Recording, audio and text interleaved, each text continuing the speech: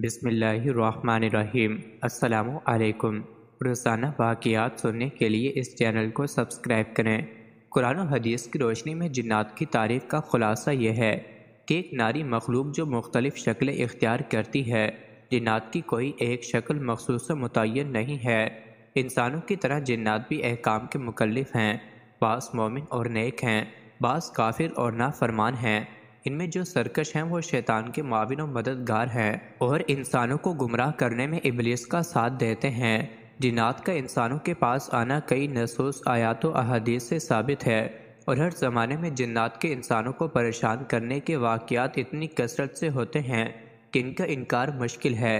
हज़रत अबू दजाना रदी अल्लाह फरमाते हैं, मैंने नबी करीम सल्लल्लाहु अलैहि वसल्लम की खिदमत में अर्ज़ किया, या रसोल्ला सल्लल्लाहु अलैहि वसल्लम मैं अपने बिस्तर पर सोता हूँ तो अपने घर में चक्की चलने की आवाज़ और शहद की मक्खी की बिनबिनाहट सुनता हूँ।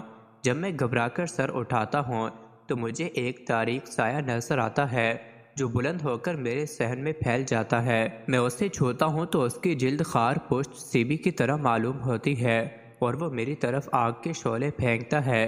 लगता है कि वो मुझे भी जला देगा और मेरे घर को भी। आप सल्लल्लाहु अलैहि वसल्लम ने फरमाया तुम्हारे घर में रहने वाला जिन बहुत बुरा है वगरना रब काबा की कसम, क्या तेरे जैसे शख्स को भी तकलीफ़ दी जाती है? फिर आप सल्लल्लाहु अलैहि वसल्लम ने कलम दवात मंगवा कर सैदना अली रदी अल्लाह से एक इबारत लिखवाई। इसके बाद अबू दजाना रदी अल्लाह फरमाते हैं, मैं उसे लपेट कर अपने घर लाया और सर के नीचे रख कर रात को सो गया। हमें जला डाला और मैं एक चीखने वाले की चीख से बेदार हुआ। कोई कह रहा था, ए अबू दजाना, लातो अजा की कसम, इन कलिमात ने तुम्हें तुम्हारे नबी की कसम। नाम मुबारक यहाँ से उठा लो।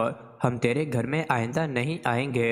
एक रिवायत में है, हम ना तुम्हें ऐसा देंगे, न तुम्हारे पड़ोसियों को और ना इस जगह वालों को जहाँ ये ख़त मुबारक हुआ। अबू दजाना रज़ी अल्लाह फरमाते हैं, मैंने जवाब दिया मुझे मेरे रसूल के उस हक की कसम, जो अल्लाह ने मुझ पर वाजिब किया है, मैं इसको यहाँ से नहीं उठाऊँगा, जब तक कि मैं रसोल्ला सल्लल्लाहु अलैहि वसल्लम से मशवरा ना कर लूँ।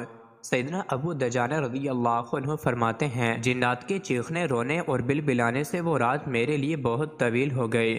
सुबह की नमाज़ मैंने रसोल्ला सल्लल्लाहु अलैहि वसल्लम के साथ अदा की, और जिन्नात का मामला रसोल्ला सल्लल्लाहु अलैहि वसल्लम से अर्ज़ किया।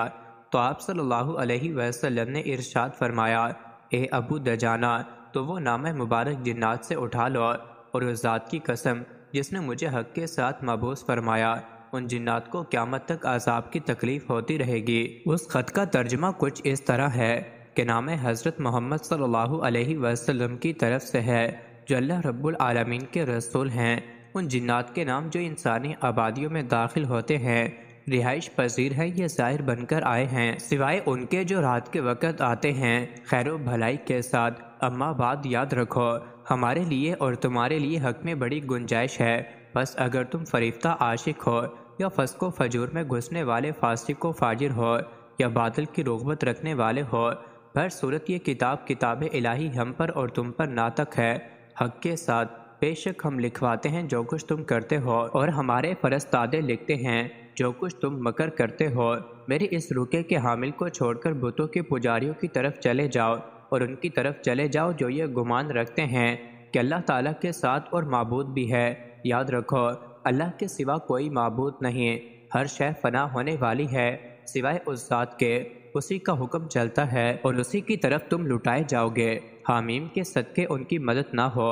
हामीम आइंसिन काफ के सदक़े अल्लाह के दुश्मन पर गंदा हो गए और अल्लाह की हजत तमाम हो गई। और नहीं है बुराई से फिरने की ताकत और नहीं है नेकी करने की ताकत। मगर अल्लाह ताला की तोफ़ी व मदद से जो बुलंदो बरतर है, सवाब काफ़ी है। तेरी तरफ़ से उनको अल्लाह और वही है सुनने वाला और जानने वाला। मज़ीद ऐसी ही वीडियोज़ के लिए चैनल को ज़रूर सब्सक्राइब करें।